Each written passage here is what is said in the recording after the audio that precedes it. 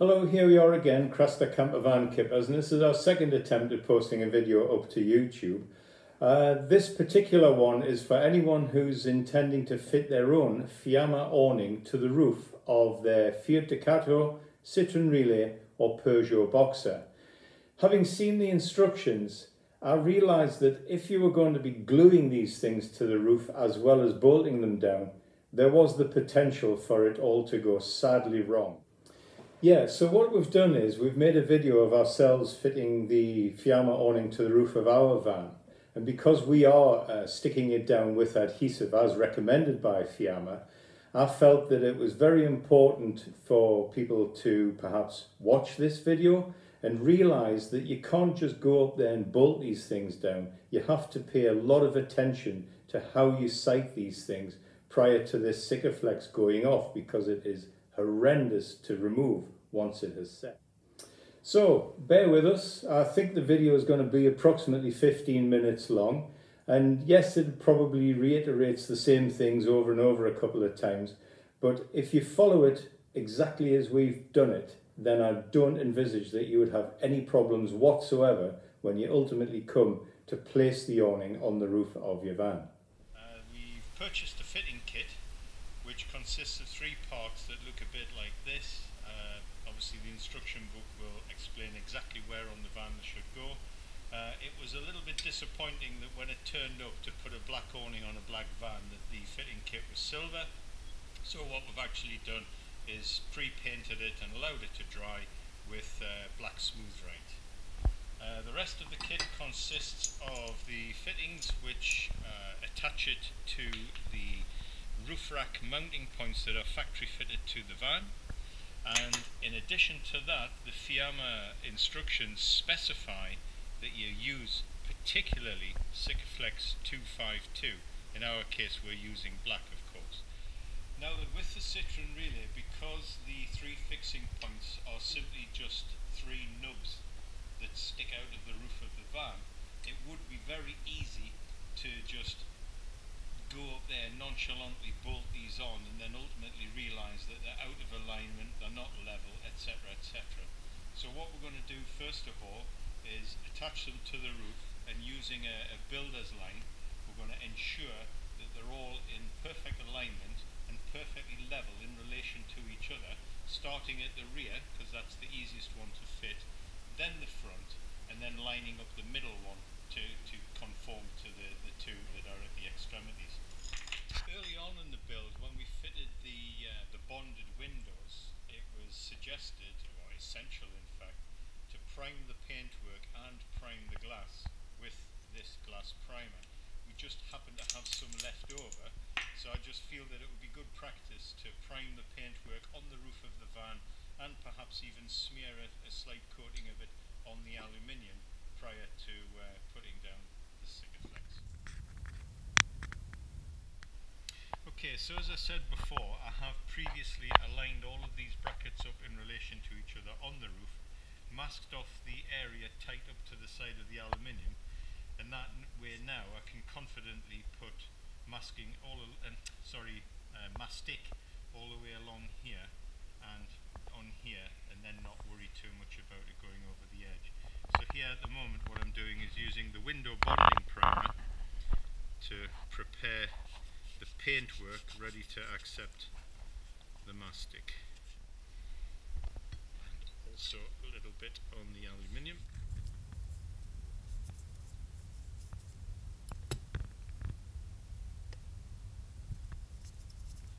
So as I've said before, this particular one here will sit perfectly flat and straight in relation to the rest of the van.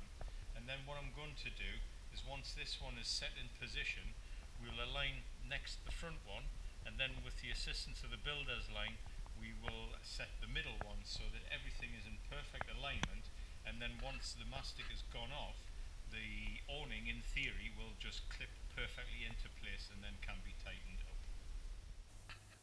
So as you can see here, I'm not being shy with this stuff. I would uh, put as much on as you possibly can so that by the time you come to press down the bracket towards the roof, that you've got a cushion of at least three millimeters. And then uh, once has set, and you can come along as I say later on and uh, just tighten that up a little bit more and as I say you'll have that good minimum of three millimeters protection from the paintwork.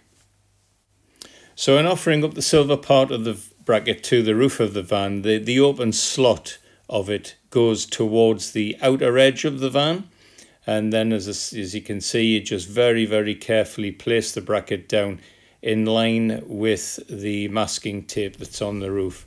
And uh, that should be it. Job done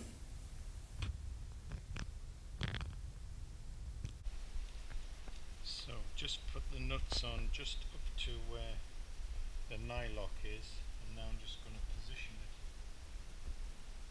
exactly in alignment with the masking tape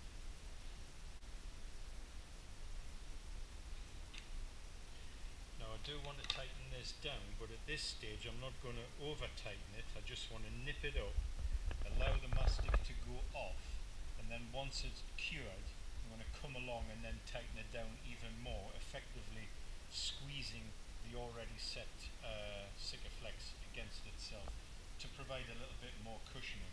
Because I suppose if I was to squeeze it all out whilst it's wet,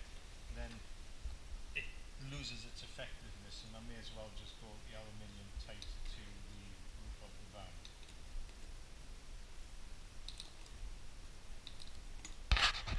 Right, so now whilst this is wet, uh, I'm a bit particular when it comes to this sort of thing, so I'm just going to wet my finger. I know I should be wearing gloves, but in my experience the gloves keep splitting and you may as well not be wearing them. So I'm just going to lick my finger and tool in the surplus mastic back in underneath the aluminium remove the masking tape, let it set, and hopefully that'll be a nice tidy job. So I discovered that uh, Sikaflex is nothing like silicon, which I had previously used with bare hands. Uh, what I discovered was that having tooled this in, my fingers had black streaks on them for at least five days. So yes, do yourself a favour, get yourself some good strong gloves that won't split and uh, you'll never regret it.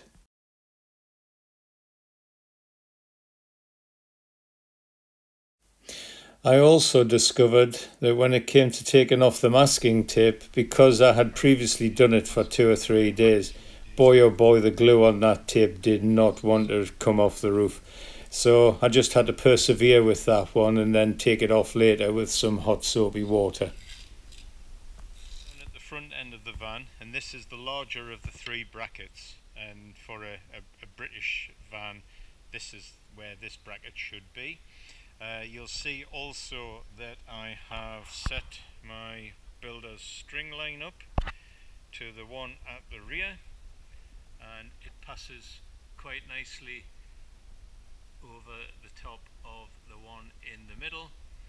And looking down at it well it's this one here. It's sitting quite nicely plumb and level across the top of the front bracket. So if I was to fix all of these down, reattach the string line after I've done the front one, get this string back in this position, then I will confidently be able to set up the middle one and know that when all of this goes off, with a little bit of tweaking of tightening it down once the mastic has dried, that the awning in theory should just be perfectly aligned and clip straight into place.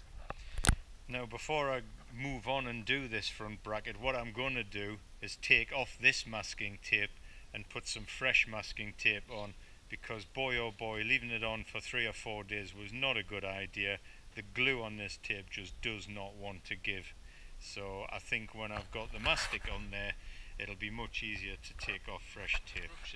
It does advise that when fitting these brackets to the roof it may be necessary to use shims to align all of these brackets in relation to each other. However, what I have found is that with my Citroen Relay, there is this crease just behind the, the driver's cab and a big, great big lump of mastic and sealant that they've applied at the factory and then of course over painted. And what I found was that this was forcing the whole bracket to be skew with.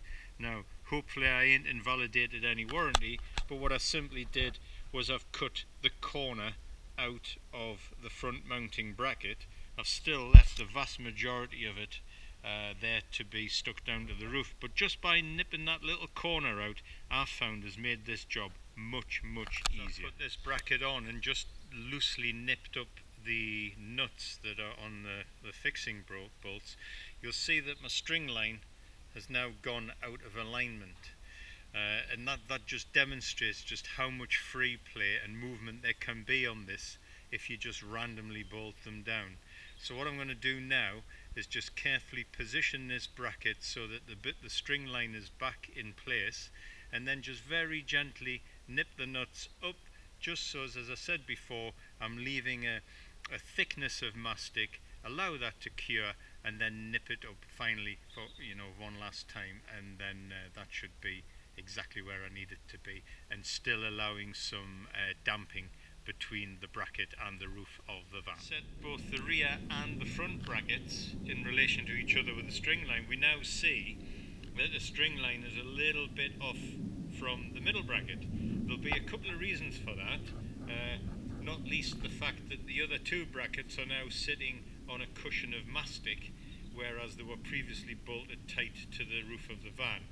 So what will happen now is we'll just take this one off, apply the mastic, the fresh masking tape and then I'll realign it to match this string line and then everything should be okay.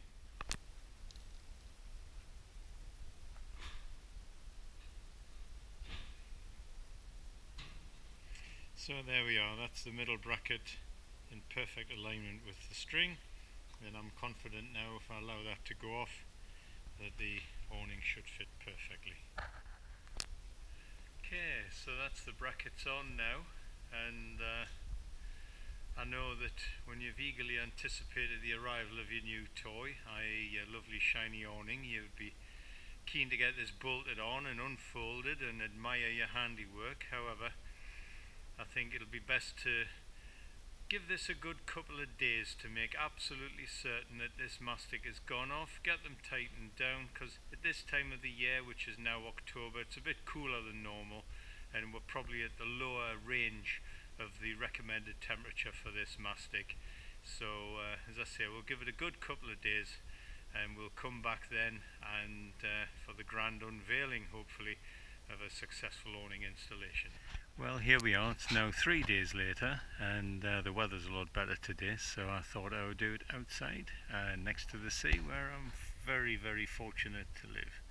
So, just as we did when the mastic was wet, I'm going to start with the rear one and get that one tightened down. Again, the string line on, and make sure everything's in alignment.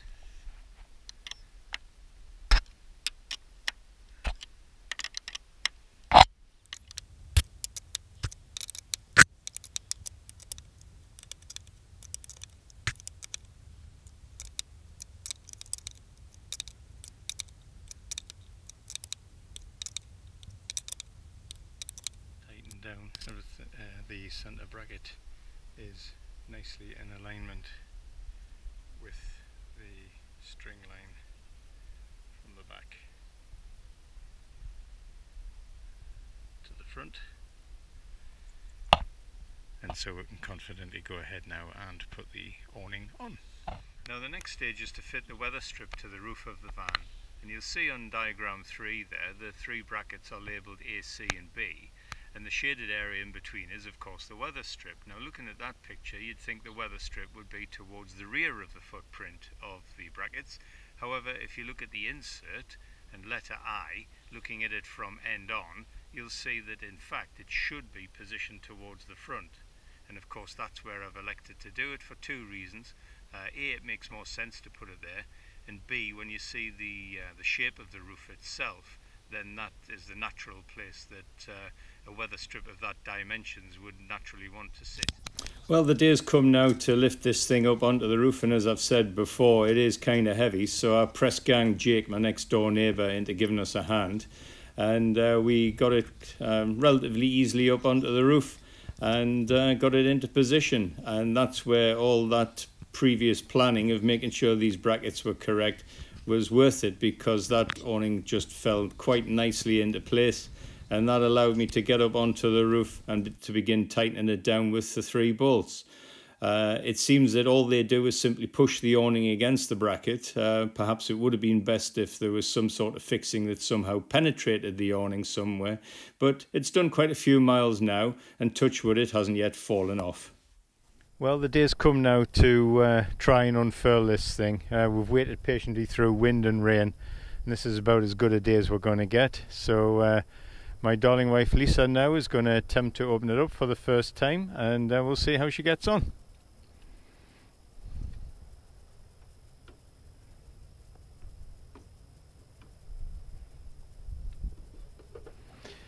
Now I've seen a few videos where people will just wind these things out to the full extent straight away.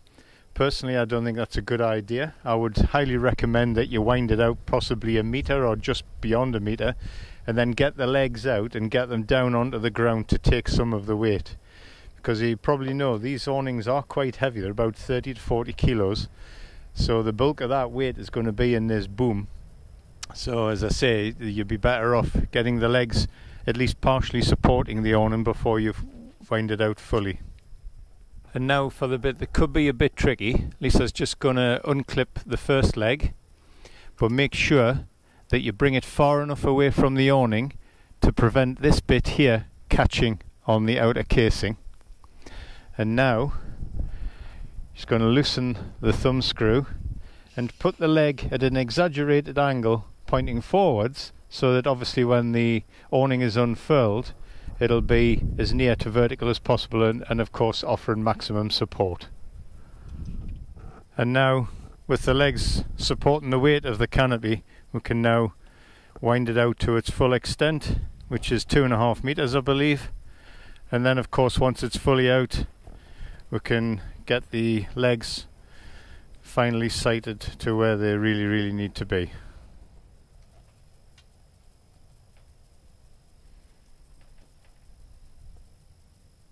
Now there are a multitude of accessories that come with this awning and I decided to purchase this which is the Rafter Pro.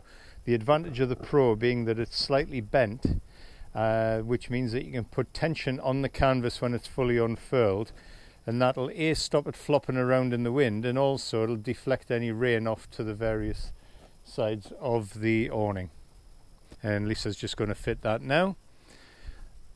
Supplied with the awning there's a central clip just slowly pull the rafter out and then if she can reach put it in the other one. And now with the rafter in position you'll see that it it does push up the awning in the center slightly. Uh, we, we could of course fine tune this and make it tighter again but it is quite a windy day at the moment and the awning seems to be rather steady there uh, another tip is when it is raining, if you're going to leave it out in the rain, is you could drop one of these corners to be ever so slightly lower than the other one, and that would encourage the rain to run off the the side of the awning rather than uh, any risk of it pooling in the middle. So I hope that video was of some use to you, and if you did like it and you'd like to encourage me to do something along those lines in the future, then please subscribe. And any comments, please leave them below. Thank you.